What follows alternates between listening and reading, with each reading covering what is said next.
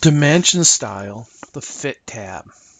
Let's go up to our annotate tab, go to dimensions panel, and let's go and pick on our dimension style. We're going to go to our mechanical inch. Currently it's what we're uh, doing and we're going to modify that. We're going to go to the fit tab. Now all these options are for when there's a very tight congested drawing and there isn't enough room to get both the text and the arrowheads in between the, the extension line. So here I have an extension line, extension line, and there's just not enough room to get in here. So what did you tell AutoCAD to do? Well, I like to go in this order. You tell AutoCAD to say, put in the text or arrows, whatever the best fit is. You could tell just to put only arrows in. You could tell just to put text in. You can tell to put both text and arrows in. And you can always keep the text in between the lines. And sometimes you just don't have room for that. So you can also say suppress the arrows if they don't fit in the extension lines. So depending how congested or tight it is, I recommend you start at the top and you go downwards uh, to meet your needs. If it's a very small, intense drawing, if you're a very large drawing, you don't have a problem. It's just leave it here. Where do you place the text? So if the text is not in this default position, where do you place it? So beside the dimension line is, we'll put it over here to the side of the dimension line. If I say over the dimension line with a leader, we will draw a leader line out. And so you can follow the text, follow the leader down to the dimension. I like that uh, scenario. Over the dimension without a leader, I do not like that. So that means the text is just moved out. And when the viewer reads the drawing, they have no idea what that number is or where it's associated with.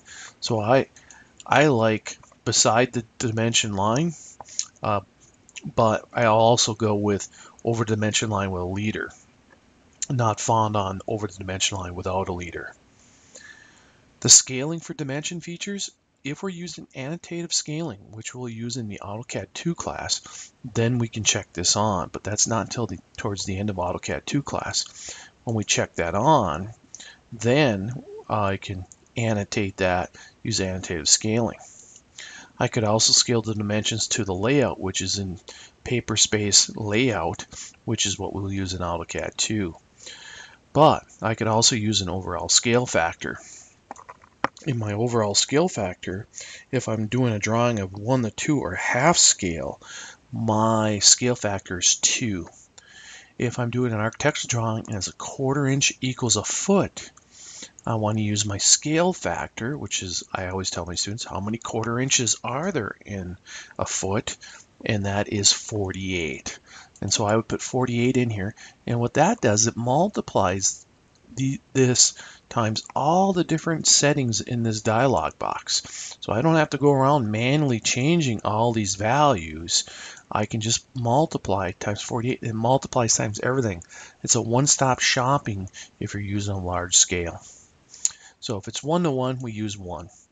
Otherwise, we use our, our drawing scale factor. Fine tuning. Fine tuning is when we manually want to alter the placement of the dimension text. So when I say place the text manually, it's going to be up to you to actually position the text on every single dimension. That's time consuming and I don't think it's it's kind of cumbersome.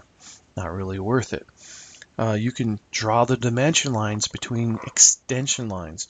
So in this case, you draw the dimension lines. So, um, you know, you can place the dimension lines inside the extension lines, even if the text and arrowheads are outside.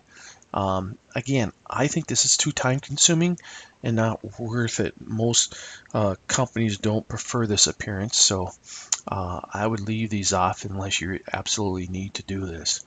So this whole area is when you have a very congested, this whole tab is when you have a congested drawing, very tight, small dimensions, in which it's very difficult to get both the arrowheads and the dimension lines in between the extension lines. This is what you use to manipulate that.